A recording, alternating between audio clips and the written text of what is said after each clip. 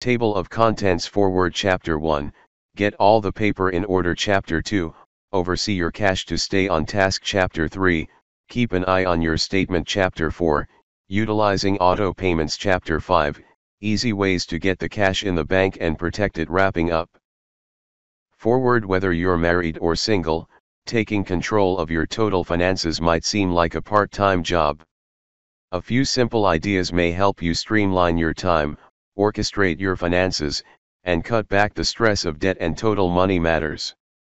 The Debt Destroyer for 21st Century Living How to Curb Your Debts Even If You Suck at Dealing with Money. Chapter 1 Get all the paper in order synopsis Once the mail makes it to you, make sure it goes all in one place. Forgotten bills may be the cause of unwanted late fees and could harm your credit rating.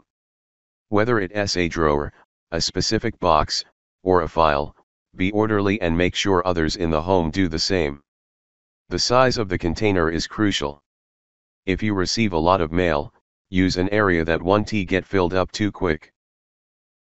Getting it in order your bills show up every month whether you care for them to or not. Placing them in a pigeonhole someplace and dealing with them afterwards might lead you to blank out their due date. If this happens you end up being forced to pay a late charge. If you're willing to become organized, you are able to achieve getting your bills paid promptly and never have to worry about obtaining a late charge. This may take a little bit of time to arrange, but only a couple of additional minutes per week to maintain. Make certain you open up your bills. A lot of bills arrive with unnecessary inserts that simply take up room in the place where you stash away your bills. Take out any inserts and recycle them with the outer envelope right away. This keeps clutter from heaping up and taking your focus off of the bill itself. Now take the bill and place it under the fold of the return envelope. You should then label four plastic bins so that each one makes up a calendar week of the month. You are able to easily label them week 1, week 2, week 3, and week 4. Now take your organized bills and find out the due date. If the due date is the 10th of the month, the bill gets put into the week 2 bin. If the due date is the 22nd, the bill goes in the bin for week 3. Carry this out with all of your bills and then lay the bins on top of each other in order. When week 1 comes around, take your bills out and send out the payments for them. Then place the bin on the bottom of the pile so that the week 2 bills are ready to go for you the following week. Ultimately when your bills are paid off, you nevertheless have your financial statements to deal with. You need to keep them organized as well so that you are able to promptly find them if you need to. Purchase a 13 pocket file folder. Mark the beginning 12 pockets with the calendar months of the year. The final pocket may be marked taxes. Put your monthly financial statements into the pocket for that particular month. Once the year is all over, you are able to label the file folder with the year on the front and store it just in case you ever become one of the people who unfortunately gets audited. Chapter 2 Oversee your cash to stay on task synopsis bill paying might be simplified if it's done at scheduled times throughout the month as we talked about. Depending on how many bills you acquire, you are able to institute set times every month so none of your bills will be paid after the due date. If you repaying off bills as you get them, chances are you re-spending too much time in front of the checkbook. While bills could say payable upon receipt, there's always a grace time period. Call the creditor to distinguish when they have to obtain payment before the bill is regarded late and utilize the tips here. Stay on schedule wouldn't issues simply be more comfy if everyone had an accountant on the payroll to deal with all the money matters in his life. For those who cannot pay to sustain an accountant on the payroll, you have to answer as your own accountant and distinguish how to supervise your cash, where it goes, and what it is for. Here are some ideas to assist you if you re a tiny bit unsure how to go about addressing the cash matters. As previously expressed, make sure you organize. It is of the essence that your bills and receipts to be organized and in order. This is because you might wind up paying off the inappropriate amounts and losing track of your list of expenditures. As expressed in Chapter 1, one way to go about executing this would be to keep a bin or a file folder of every week that a bill is due to be paid, and keep the receipts filed away in addition to the bills. Let us theorize you send out the payments for water, electricity, and cable television service monthly. Place them all in their respective bins according to maturity date, which ought to be updated each time you open up your bills. Make it a point that you appropriate funds each payday. On payday, head towards your stack of bins and figure out the money you have to reserve for every bill that you have to send out the payments for. Make this your chief priority. Then appropriate a certain amount every payday, which ought to go to a savings account. The balance would now be your spending money, or your supposed disposable revenue. Pay for bills on the net or consolidate bill payments. Familiarize yourself with how to send out the payments for your bills on the net. A couple of banks and financial institutions in reality let you consolidate your bills into just a single payment. Not only will this economize on your time and energy, but it would in addition to that be a good way for you to track your bills, as you will be able to view a record of all the payments you have created. Don't burn your time any longer by going to the physical building and paying every bill over the counter. It would be simpler and much more efficient for you if you are able to do it from the solace of your own house or office. You are able to always discuss your monthly bills with your family, if you need to. If for a particular month, you observe that your water bill is exceptionally larger than the previous months, advise your loved ones and let them know that they need to attempt to save on usage. If you're open with your family members about this, they'll better value money and finances, and they might begin helping out by doing simple things, like disconnecting appliances when not being used. Make certain you look back at your bills from time to time. Make sure that you don't miss out on any payments to avoid penalty fees, and to prevent messing up your budget. Set out with a fresh start each month without any leftover accounts payable, so your bills don't stack up. The trick to finagling your finances and paying bills on time is prioritization and organization. For certain, everyone wants to buy the newest automobile, gizmo, apparel, or jewelry. However, bills are a fact of life. Rental payments are a fact of life. Mortgage payments are a fact of life. You have to be able to see where your cash goes, and be organized enough to understand how much ought to be spent for any particular things and how much is remaining. Chapter 3 Keep an eye on your statement synopsis. Most human beings capitalize on low interest credit card offers but fail to read their statements while paying the bill.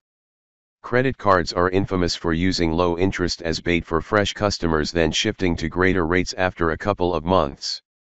Make a habit of looking over your statement carefully to see what rate of interest you're paying off monthly and if any transaction fees have been utilized. If the rate goes up or a transaction fee shows up on your financial statement, a simple call to the credit card company may a great deal of the time be beneficial in settling the matter. If not, attempt to switch your money to more favorable rates and fees. Look closely paying off delinquent interest on your credit card every month may total up to a vast sum at the end of the year, that is, if you're able to keep track of your payments. It might be frustrating to forever keep searching for credit card bills that you know came in the mail however can't recall where you put them exactly. Before you realize it, you'll either make another late payment or worse, completely forget to send out the payments for them. To get savings and step up your credit rating, it will take a little effort on your part to coordinate and maintain a record of your credit card bills and payments. Make it a point that you look at all your credit cards and create a list of them. Following collect all your credit card bills. Look at the financial statements and check the dates when the payments are due.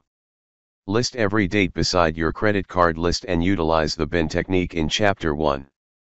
This way you'll know which credit card bills you are able to anticipate in a billing cycle and make a schedule subsequently. Place your credit card bills into separate bins so you that you can't miss running across them. Place a stapler, paper clips, and pens close to where you have placed the bins or file folders. Make it a point that you keep a little basket or box where you are able to drop all your receipts every time you shop.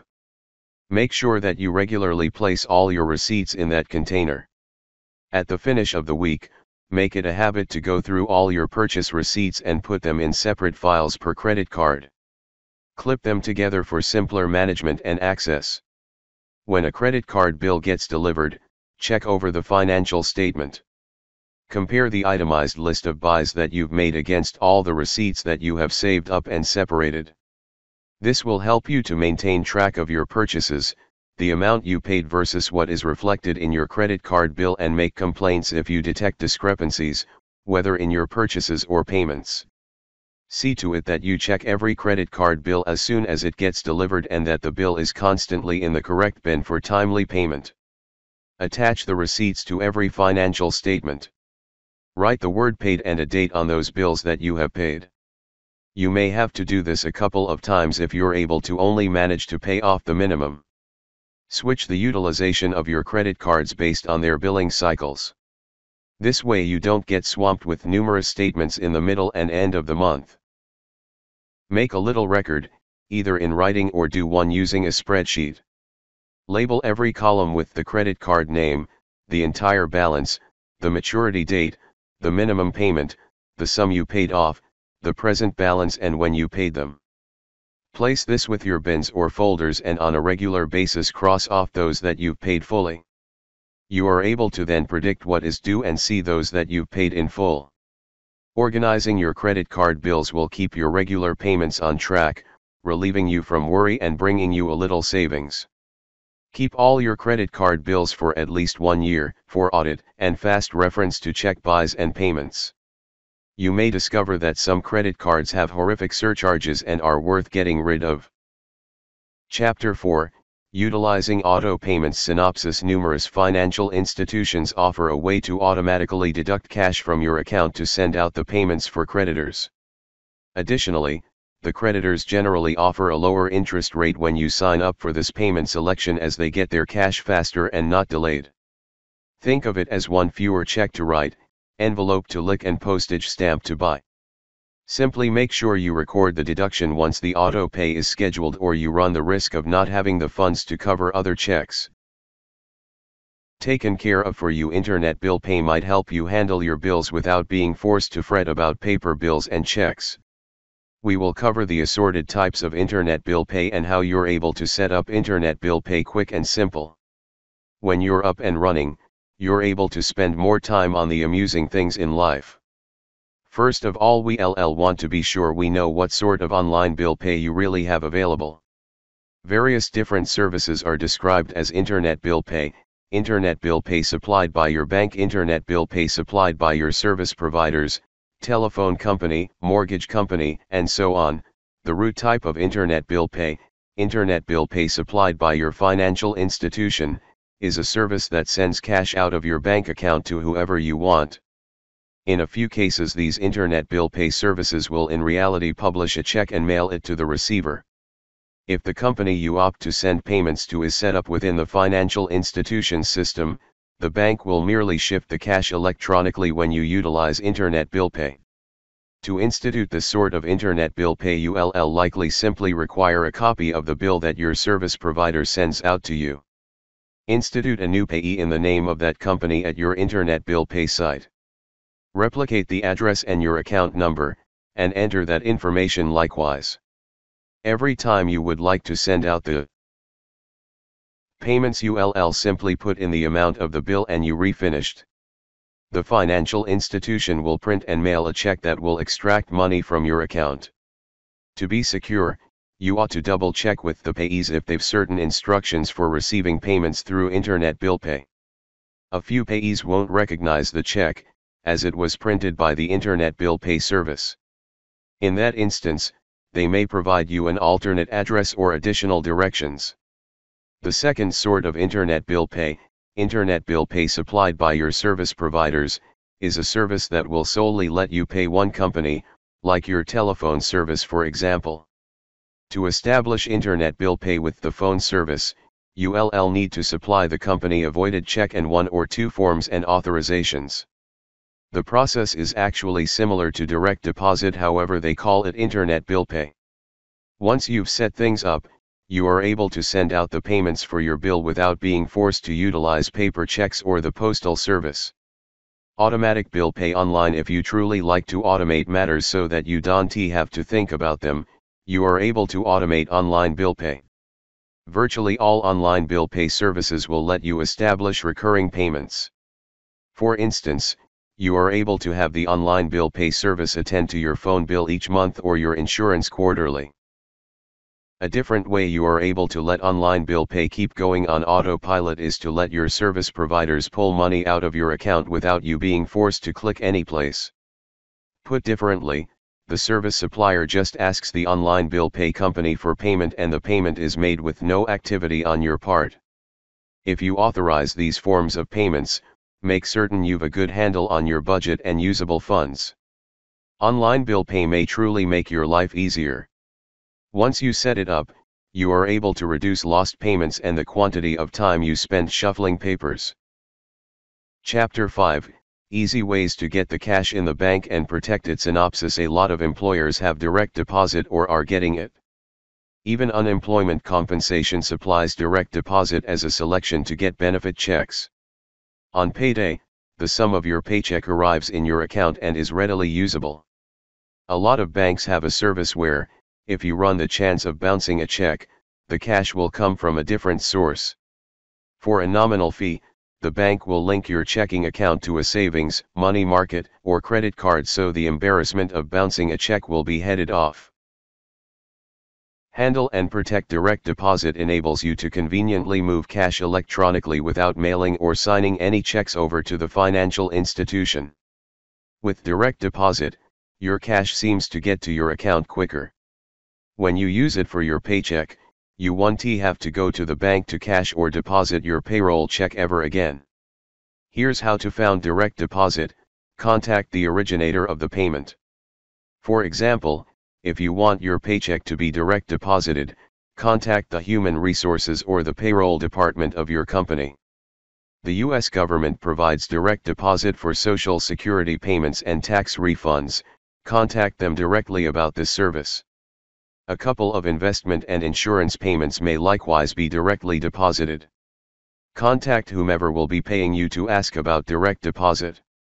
Complete a direct deposit form. This should be supplied by the organization or person that's paying you. ULL require your bank's routing number, which is published on your checks or may be gotten from your bank. It may likewise be called an ABA number or a routing transit number, and is a singular identifier for your particular financial institution. ULL in addition require your account number, which describes your particular account at that sealed financial institution. You're able to have the funds set up to direct deposit into your regular checking or savings account, or make a particular account for these funds. Finally, the form may require the physical address of the bank to which payment should be sent, even though it will be sent electronically. Additional info may include your name, address, phone number, or social security number. Send this form back to the organization or individual that will be paying you. Some additionally require a voided check to verify that your routing number and financial institution account number is right. Be sure to clearly mark this check as void before sending it. Some companies may also be set up to take this data online or over the phone. Direct deposit is a handy way to get your cash. With just a couple of short forms, you're able to wipe out a lot of paperwork and fuss later on. You'll never lose a paycheck or accidentally wash it in your pants pocket again, as there are no paper checks to be lost or stolen. It typically takes a few weeks to institute and is well worth the wait. Nevertheless, you still ought to get a payment stub from your employer or individual paying you, listing the itemized deductions for that period or the amount and purpose of the check. Protecting money It only takes a minute or two to get the peace of mind that overdraft coverage may provide. You ought to know however that beginning soon, financial institutions will no more be allowed to bill overdraft fees unless customers sign up for the service. Do nothing, and you might have a purchase declined at the register. On the other hand, you won't find yourself burdened with unexpected fees. With fee, founded overdraft services, your financial institution will back you when a debit card purchase or ATM withdrawal exceeds the amount of money in your checking account. Banks state this service saves customers from embarrassment and allows for a quick source of emergency cash. But the price of saving your dignity may be high. As most financial institutions bill a flat fee for overdrafts, a $2 overdraft for a cup of coffee might cost you $35. And once you've exceeded your limit, each purchase you do might have a fee. In the past, a lot of financial institutions automatically listed customers in overdraft coverage. But under new federal rules, financial institutions will be expected to get new clients' permission before charging fees to back ATM and debit card overdrafts. As well, they'll be banned from billing overdraft fees to existing customers unless they select the service. You ought to understand that, there are other, less costly means to avoid having your debit card declined including, associate your checking account to a savings account.